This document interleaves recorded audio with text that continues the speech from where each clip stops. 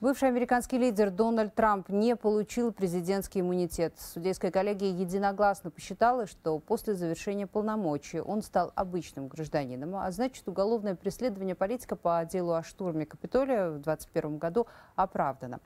Как решение суда может повлиять на предвыборную гонку и шансы главного кандидата республиканцев вновь возглавить Белый дом, расскажем далее.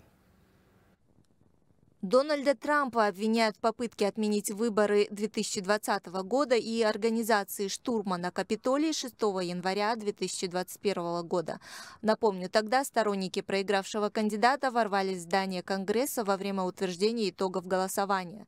Сам Трамп вину не признал. Его адвокаты подали на апелляцию, утверждая, что Конституция освобождает главу государства от преследований за незаконные действия во время его правления. Однако в судебной коллегии посчитали, никакого иммунитета у политика нет, ведь на момент беспорядков он уже был экс-президентом.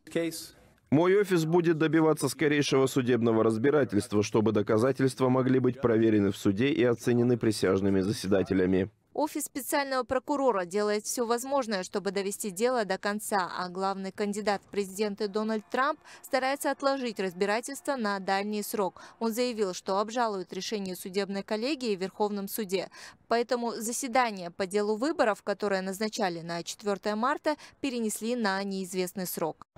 Защитники экс-президента не согласны с постановлением о том, что Дональд Трамп не обладает иммунитетом от уголовного преследования и, как любой гражданин США, может быть привлечен к ответственности, теперь собираются подать жалобу в высшие инстанции. На сегодняшний день против него возбуждено 4 уголовных дела и идет несколько судебных разбирательств. Айжан Сыдыкова, 24 КЗ из США.